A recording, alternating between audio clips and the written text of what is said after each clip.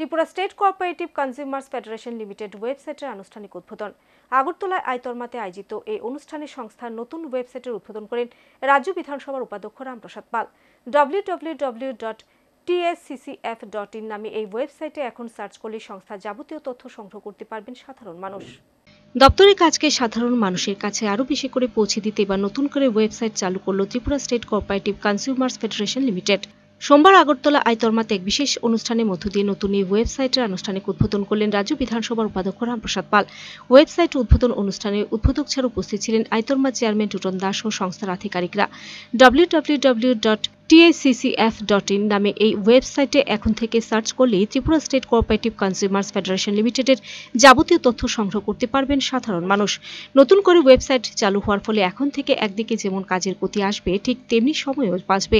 Website উদ্বোধন করে এমনটাই বললেন বিধানসভা উপাধ্যক্ষ রামপ্রসাদ পাল। আজকে এই আমাদের ত্রিপুরা স্টেট কোঅপারেটিভ কনজিউমার ফেডারেশনের পক্ষ থেকে ওনারা একটা আজকে ওয়েবসাইট অপিটিং করেছে। এটা আমাদের এই আয়তরমার যিনি চেয়ারম্যান টুটন দাস বাবু, উনি যে বিষয়টা তুলে ধরেছে এটা সত্যি যে আজকাল ডিজিটাল যুগ।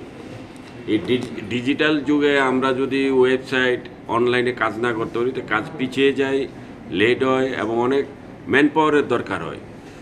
তো সেই কারণে আমাদের এই আয়তরমাত ওনারা এতদিনে ওয়েবসাইটের সাথে যুক্ত ছিল না, যার কারণে ওনাদের অনেক কাজকর্ম দেরিতে হতো, প্লাস লুকের দরকার হতো।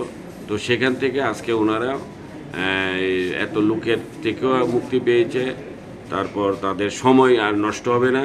যেখানে দুদিন, তিন দিন সময় লাগতো, যে কোনো একটা ফাইল, একটা ডিপার্টমেন্টে যাওয়া, একটা টেন্ডারে যাওয়া, সেখানে এখন দুই সেকেন্ডে দুই মিনিটে হয়ে যাবে। তো সেটা আজকে ওপেনিং হয়েছে লঞ্চ করেছে আয়তরমার তাদের পক্ষ থেকে ওনারা করেছে। চেয়ারম্যান আমাকে এখানে video report search India TNN